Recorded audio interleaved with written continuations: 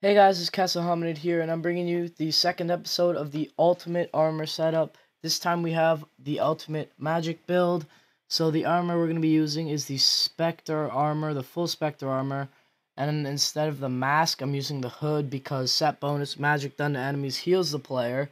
So it's more of a survivable, it's more survivable.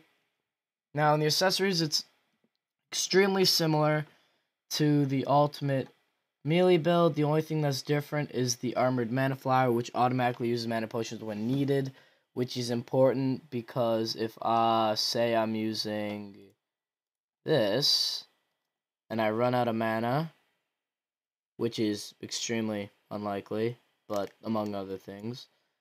But yeah, just say I run out of mana, so this could take a while, because I had it prefixed, so it doesn't use very ma very much mana.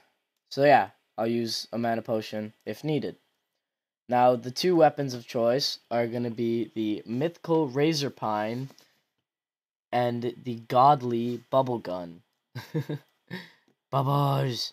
And we're actually going to be trying to kill the golem. So in three, two, one.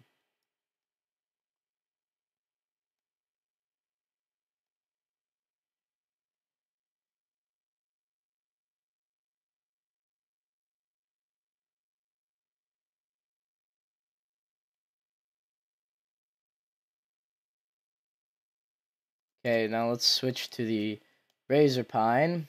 And, uh, yeah, see how our health is not even going down? Yeah, it's useful. so, that's that. Oh, I even got a Staff of the Earth. This is also a good weapon for, I don't know, a, I don't know, magic build, kind of.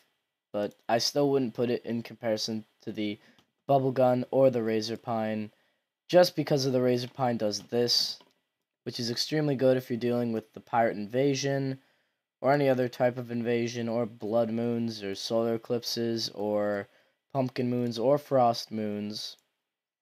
But anyway, it's been Castle Hominid. It is this has been the ultimate magic build. Next episode we're going to be taking a look at the ultimate ranger build, which could take a while because it has two other components and um, I'll see you guys in the next episode. It's been Castle Hominid. Hit the like, favorite, subscribe button, and I'll see you guys later. Bye.